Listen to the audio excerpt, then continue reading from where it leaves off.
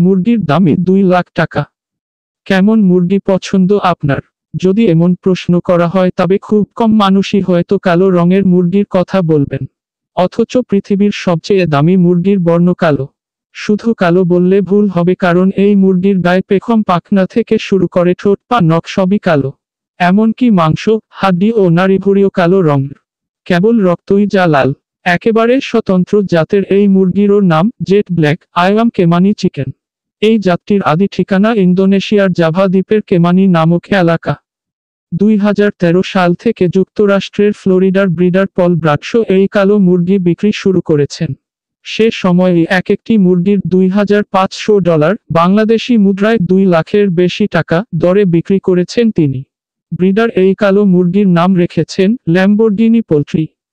বিজ্ঞানীদের মতে, কালো টিস্যুর প্রাবল্যের এই জেনেটিক পরিস্থিতির ফাইব্রেমেলানোসিস নামে পরিচিত। এই জাতটির সঙ্গে চীনের সিল্কি জাতের কালো মুরগির মিল রয়েছে।